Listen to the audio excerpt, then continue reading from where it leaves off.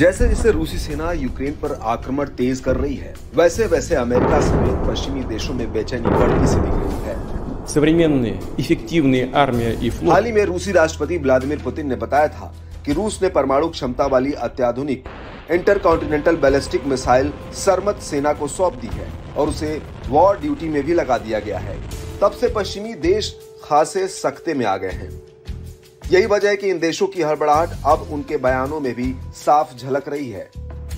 अमेरिकी सामरिक कमान के प्रमुख वायुसेना जनरल ने रूस पर बड़ा दावा किया है। एंथनी कॉटन ने कहा कि रूस अमेरिका के सैन्य प्रभुत्व के लिए एक गंभीर चुनौती है। मॉस्को के पास पहले से ही अमेरिका से ज़्यादा परमाणु शस्त्रागार है। रूस सक्रिय रूप से इसका आधुनिकीकरण कर रहा है।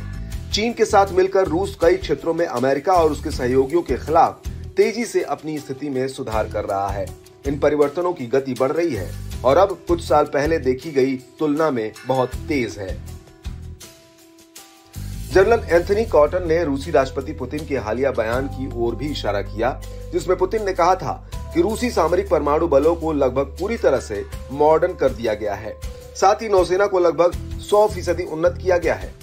जनरल ने खास तौर से रूस की अत्याधुनिक इंटरकॉन्टिनेंटल बैलिस्टिक मिसाइल सरमत और नई पनडुब्बियों की ओर इशारा करते हुए कहा कि रूस के पास किसी भी और देश के मुकाबले सबसे बड़े और सबसे विविध परमाणु शस्त्रागार है, जो परमाणु हथियार ले जाने में भी सक्षम है। मॉस्को क्लासिक न्यूक्लियर ट्रायड से परे अपने परमाणु विकल्पों का विस्तार और आधुनिकीकरण भी कर रहा है।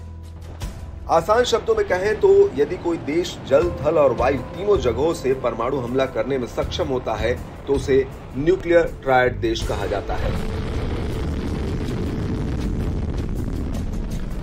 ऑर्टन ने चेतावनी देते हुए कहा कि अमेरिकी रणनीतिक ताकतें वर्तमान में ऐसी चुनौतियों का सामना कर रही हैं, जिनका अमेरिका ने कभी सामना नहीं किया है। रूस, चीन मिलकर और साथ में नॉर्थ कोरिया और ईरान की परमाणु महत्वाकांक्षाओं, जटिलताओं की नई परतें जोड़ती है। ये बिल्कुल महत्वपूर्ण है कि हम अपने न्यूक्लियर ट्रायड के आधुनिकीकरण को स्पीड से जारी रखें। ऐसे में यह देखना काफ़ी अहम रहेगा कि यूक्रेन पर जीत हासिल करने की राह पर चल रहे रूस के विजय रथ को रोकने के लिए पश्चिमी देश किस रणनीति के तहत कदम उठाते हैं।